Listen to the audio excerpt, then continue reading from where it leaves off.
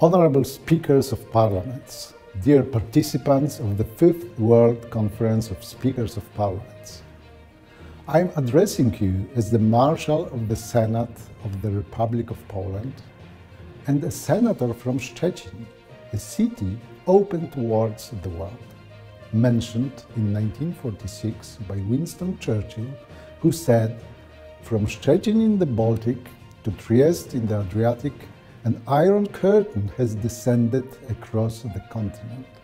For many years, this iron curtain kept Poland from achieving our democratic aspirations and cut us off from a wide multilateral cooperation. When over 30 years ago the activity of the Solidarity movement led to the reinstatement of democracy in Poland, elections were held to a reborn Senate previously abolished by the communist regime.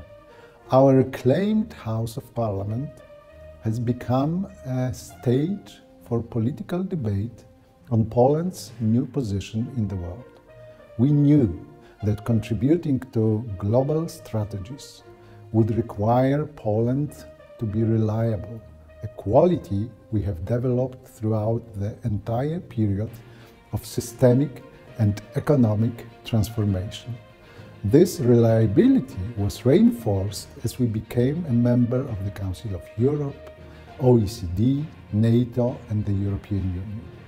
Despite the years that have passed since then, the multilateral way of thinking remains present in the Senate of the Republic of Poland.